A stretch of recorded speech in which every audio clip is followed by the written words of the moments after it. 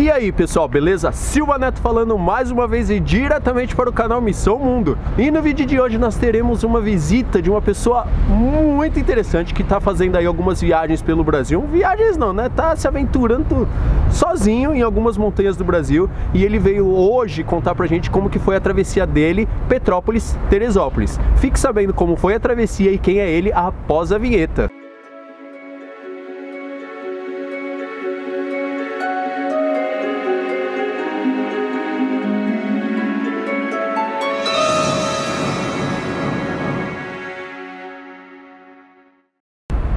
Isso aí, pessoal. Então, sem demora nenhuma, vamos conhecer quem é ele e como foram as aventuras dele.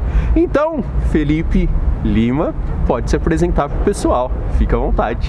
Galerinha, meu nome é Felipe Lima, tenho 24 anos, é, eu pratico trilha, alta montanha há pouco tempo, há um pouco menos de 3 anos aí.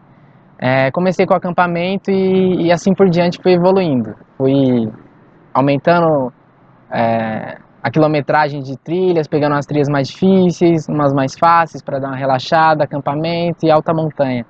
E tenho feito isso aí durante três anos. E não pretendo parar, pretendo evoluir, pretendo pegar umas trilhas mais difíceis e assim por diante. Acho que é isso. E só para o pessoal ficar sabendo, mais ou menos, quais foram as últimas montanhas que você subiu? Só para o pessoal ter uma ideia. Tá. As últimas trilhas que eu fiz foi Agulhas Negras, Pico dos Marins, é, Pico Paraná, foi uma, uma, das mais recentes. Petrópolis Teresópolis também tá aí. Ah, eu também fiz o. É, como é que é? Os portais de, de Hércules. Os portais de Hércules. Fiz também os Castelos de Açu, também tá ali tudo na Serra dos Órgãos. Uhum. É, acho que basicamente são essas trilhas que a gente começou esse ano. E por que que você resolveu fazer a trilha, essa travessia Petrópolis-Teresópolis? Ah, Petrópolis-Teresópolis é uma das mais clássicas do Brasil, uma das mais conhecidas. E todo mundo diz que é uma das mais lindas do Brasil. E eu comprovo isso que eu fiz eu achei uma das mais lindas, realmente, sem dúvida. É uma trilha fantástica e por isso que eu coloquei na minha lista. E para quem não conhece, tem pessoas que não conhecem às vezes essa travessia, mesmo estando aí fazendo trilha, às vezes está num nível um pouco mais leve. Onde que fica essa, tri, essa travessia? A travessia fica em Petrópolis, que é no Rio de Janeiro. Você pode fazer tanto de Petrópolis para Teresópolis ou de Teresópolis para Petrópolis, que dá, dá praticamente no mesmo. Eu recomendo fazer a, a tradicional, que seria de Petrópolis até Teresópolis, que é, que é a, a parte mais difícil, que é a subida que é de Petrópolis até os Castelos do Açu, que é uma, é uma subida muito íngreme, que você ganha muito terreno e eu recomendo por esse lado. Ah, e como você se preparou para fazer essa trilha? É, eu venho me preparando através de outras trilhas que eu tenho feito. Esse ano eu tenho feito bastante trilha solo, porque não tem muita gente para ir comigo. Como eu folga de semana, não tem muita gente para ir comigo. Então eu tenho me preparado. Eu tinha feito o Pico Paraná sozinho também. É, eu fiz o Pico dos Marins, eu fiz com um amigo apenas. Pico das Agulhas Negras, eu fiz com uma galera já, que deu para fazer com uma galera. Mas eu tenho vindo de trilhas solos. E então, eu tenho me preparado desse jeito. Essa travessia que você fez foi completamente sozinha? Sozinho também. E como que você fez para chegar agora falar mesmo qual foi todo o procedimento para a pessoa que quer fazer essa travessia poder fazer sozinha também se ela quiser? Sim. É possível realmente fazer sozinha ou qualquer pessoa ou ela já tem que ter algum tipo de experiência? É, na verdade, para quem quer fazer sozinho tem que ter uma certa experiência. Eu, além das trilhas que eu tenho feito, pegado experiência nessas trilhas ao longo desses três anos, eu tenho pegado bastante experiência. É, eu já pratico o rapel, já pratico a escalada. Então a escalada ela ajuda bastante em algumas partes da, da trilha, algumas partes expostas, você tem que ter um pouco mais de técnica. Então se você vai fazer sozinho, você tem que ter muito cuidado, tem que ser muito prudente nos seus nos mínimos detalhes e todas as partes mais difíceis ela exige um pouco de, de técnica. Então se você estiver sozinho, você tem que ter um pouco dessa técnica, um pouco dessa manha. Legal. E como que você fez para chegar até lá? Então, Petrópolis, Teresópolis, eu dei uma pesquisada, peguei algumas dicas com a galera, como fazia, peguei uns trechos na internet, alguns vídeos, pesquisei bastante e vi que era uma trilha segura para mim fazer sozinho, porque ela tem dois abrigos, um nos Castelos de Açu, que é o abrigo abrigo 3, abrigo 2, é um abrigo 2, eu acho, se eu não me engano, um abrigo 1. É, tem esse abrigo fica nos Castelos do Açu e tem o, o, próximo abrigo que é o abrigo do, do Sino. Então, sabendo que tem esses abrigos e tem pessoas lá que eu posso me comunicar caso aconteça algum acidente, eu resolvi fazer. Porque eu sei que é uma trilha segura e eu posso ter algum resgate lá facilmente. Você mora aqui em São Paulo, né? São Paulo. Você foi de ônibus, de carro, de moto, Sim. avião, Comprei. jegue? Boa. Comprei o ingresso aqui em São Paulo pela internet, pelo site Serra dos Órgãos. É, Parnaso, na verdade. Comprei o ingresso. É, peguei o desconto Brasil, né? Como a gente é brasileiro, tem o desconto Brasil. Quem não é, aí já, já é outros valores. Peguei o desconto Brasil. Peguei, como eu fiz a travessia direto, eu não parei no abrigo do Açu, eu só passei por ele, eu peguei o bivac, que é onde você leva seu saco de dormir, seu isolante, você coloca na parte do bivac dentro do abrigo. Legal. Então eu só paguei o bivac, foi mais ou menos 25 reais. Paguei a entrada do parque, paguei. Acho que é basicamente isso. No total deu 56 reais mais ou menos. Hoje a entrada do parque está quanto? Hum, 2,60. Se for na parte baixa é de graça. Se for a entrada é 2 é, Não, tem que simbólico, né? Simbólico. É bem, bem barato. Você não paga assim praticamente para entrar. Como, Como você chegou lá? Cheguei lá de ônibus. É, eu peguei e saí da rodoviária de Tietê. Cheguei lá em mais ou menos 6 horas, 5 horas e meia. Desembarquei é, na rodoviária de, Petrópolis. Da rodoviária eu peguei um ônibus sentido Correias, que é a próxima cidade ali próxima, então desembarquei em Correias. É, de Correias, era o final, eu peguei um sentido Bonfim, que é onde o ônibus ia deixar próximo à entrada do parque. E ele me deixando próximo à entrada do parque, mais um quilômetro eu já estava na, na entrada mesmo do parque. E ali já comecei, já comecei a trilha. Aí você chegou lá de manhã ou chegou à noite?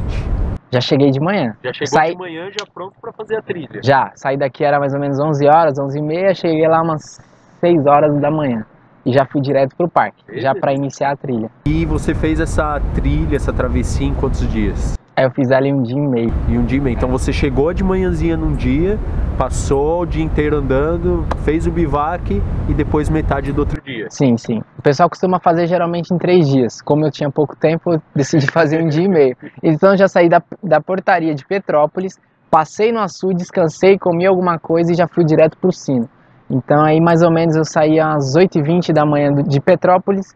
Esse caminho inteiro que eu fiz até o Sino deu mais ou menos eu cheguei lá umas 18 horas, 18 e meia mais ou menos. Praticamente 12 horas. Maravilha. Sem parar. E o que você levou de equipamento, de mochila, de roupa de frio, de bota? Do, do que, que você levou que você acha que realmente é importante, que a pessoa é obrigada a levar, porque senão ela vai ter sérios problemas? E o que você considerou desnecessário? Assim, basicamente o que eu levei, claro, uma cargueira, eu levei uma cargueira de 70 litros, comportou bem tudo que eu precisava. Como eu não acampei, eu não levei barraca, só levei o isolante, o saco de dormir. As roupas eu levei uma segunda pele, tanto calça quanto a blusa. Levei a corta-vento, levei o fleece para dar um aquecimento mais bacana, levei três meias, três ou quatro meias mais ou menos, porque enquanto uma tá suando, eu troco, coloco uma seca para não dar, para não causar bolhas, etc. Basicamente levei isso. A água tem bastante ao longo do caminho, você consegue ir abastecendo, você não precisa levar muito. Então sempre tem água, nos abrigos tem água. É, então água é algo que você, você, leva um litro e meio mais ou menos, você consegue, e umas garrafas vazias, você consegue ir abastecendo ao longo do caminho. É, comida, assim, eu acho que é algo muito pessoal, vai de cada um levar o tipo de comida que prefere. Eu levei algo, coisas básicas, levei coisas prontas, que era só esquentar e comer, coisas rápidas, lanches. É, uma bota, claro, uma bota ticano alto que ajudou bastante. Uma subida bem íngreme ali na Isabeloca, que é a primeira subida ali do saindo de Petrópolis. Corta-vento. Basicamente é isso. Levei uma meia de compressão que ajudou bastante. Eu não sei se todo mundo usa, mas eu preferi usar. Eu estou usando e estou gostando. É uma meia que ela segura as câimbras, segura o músculo para que o músculo não expanda. Então, a meia de compressão ela ajuda a evitar algumas câimbras. Então, a câimbra vinha, a meia segurava. Então, consegui desenvolver bem e uma performance melhor. É uma boa dica, porque boa muita dica. gente nem imagina usar meia de compressão, velho. Pra quê? Não fiz cirurgia, tô de boa. Mas exatamente. É só às vezes na prática que a gente consegue ver como um determinado equipamento ou alguma determinada roupa faz a diferença. E então agora vamos falar como que foi esse seu primeiro dia. Então você chegou lá de manhãzinha, começou a fazer a trilha, como que tava o tempo, Tempo nesse fechado. primeiro dia? Fechadaço. Tava chovendo? O clima, a previsão era de chuva, Aham. tava nublado, às vezes caía uns pinguinhos, parava, mas estava totalmente fechado. Esse foi o meu maior medo, porque tipo eu tava sem o GPS também, que eu não recomendo ir sem. Então galerinha, levem, levem um GPS. Mas eu não me perdi, mas tudo bem, mas é bom GPS, porque a neblina fechou, você não vê mais nada. E Isso é bem perigoso, então eu recomendo um GPS. O tempo ainda continua fechado, se liga, todo fechado, ainda não me perdi, eu tô no caminho certo, cheguei nessa placa, tô no caminho certo, mas é isso. A, a trilha desse primeiro dia como um todo, ela é bem demarcada, bem sinalizada? Ou em muitas partes você, tipo, pra onde eu vou? Não, a- o Parque Nacional Serra dos Órgãos é um parque muito conservado e bem marcado, tem placas ao longo do trajeto inteiro. Então você consegue sair da portaria e chegar até os castelos de Açu sem se perder, sem, sem pensar em ir para outro, pra outro caminho. Então você vai subindo, subindo, subindo. Tem uma placa, ah, falta tantos quilômetros para os castelos de Açu. Vai subindo, subindo, ah, aqui é tal lugar. Então a trilha inteira é marcada, é excelente. Você consegue ir sem se perder até os castelos de Açu. Depois você tem até as marcações, tem, tem mais placas, mas ainda aí já tem mais chances de se perder. Depois dos castelos de Açu. Mas até os castelos é bem tranquilo, você consegue ir numa boa. Do, da entrada do parque até os castelos de Açu, quanto tempo mais ou menos você acha que demora? Assim, nas placas marcam cerca de 5 horas. Eu, como eu estava sozinho, sem nenhum grupo, consegui fazer em 3 horas, 3 horas e meia. Reduzir bem. Por isso que eu consegui fazer a trilha em um dia e meio, porque eu sozinho consigo produzir mais, consigo andar mais. E o terreno, como estava muito molhado, como que tava? Porque normalmente quando o tempo tá meio assim fechado, tá mais úmido, né? Sim, sim, a trilha ela tem bastante cascalho, tem bastante terra batida, então você consegue desenvolver bem, não tem muito lamaçal, pelo menos nessa, nessa primeira parte não tem. Então você consegue ir tranquilo. O problema ma- maior é a elevação. Então tem muita elevação, você vai ganhando muito terreno, muita altitude. Essa é o principal ponto. Mas essa elevação você ganha através de uma trilha simples, com terra batida, ou com pedra, que você vai ter que fazer escalaminhada, alguma coisa? Não, escalaminhada não tem praticamente nada, Sério? sério.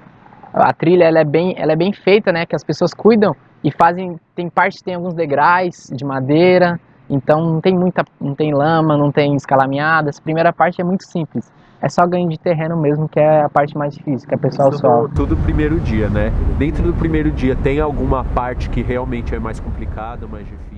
Então é isso aí, pessoal. Essa foi a primeira parte da travessia Petrópolis-Teresópolis feita pelo Liminha.